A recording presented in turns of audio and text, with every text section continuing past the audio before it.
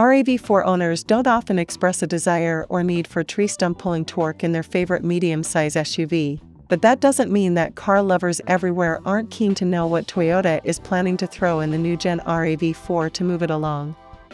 Will Toyota drop the 2.0 liter petrol and 2.5 liter petrol only engines from RAV4 and commit to a comprehensive hybrid and EV lineup? The RAV4's hybrid variants have thus far offered an appealing and accessible entry into the realm of non-ICE, internal combustion engine, vehicles.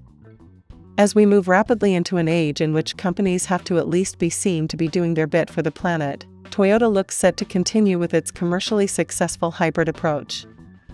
The RAV4's hybrid variants have thus far offered an appealing and accessible entry into the realm of non-ICE, internal combustion engine, vehicles. The RAV4 Hybrid has a 2.5-liter naturally aspirated petrol engine and electric motor set up with a 6.5 amp-hour nickel-metal hydride battery system. Combined system output for power is 163 kilowatts in the hybrid electric AWD, and the torque output, courtesy of the combustion engine only, is 221 newton meters.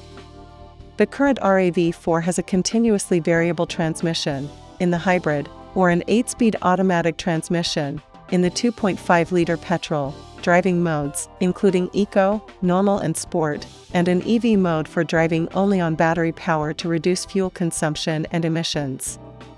The newer hybrid setup found in the related Lexus NX is also a distinct possibility for the next-gen RAV4.